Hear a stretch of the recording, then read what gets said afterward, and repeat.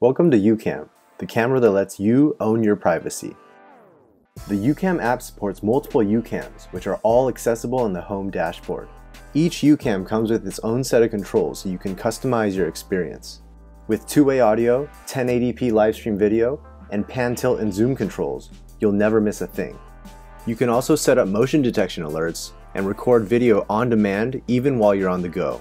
Your motion detection clips and video recordings across all of your cameras are stored privately in your own personal data vault.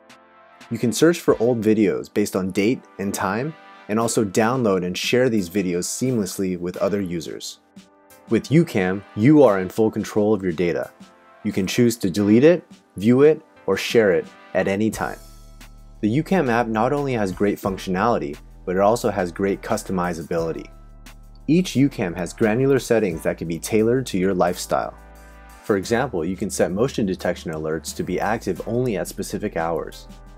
You can also set UCam to record continuous footage to a local SD card. In your settings, you can also securely authorize other people to access your UCam, as well as revoke access at any time. Finally, in your personal settings, you can view and manage your access credentials, including your private key which is used as a login for UCam, as well as an optional recovery email in case you lose your private key. Additional security measures such as two-factor authentication and biometric verification are also available to make UCam as secure and private as possible. Learn more at ucam.iotex.io.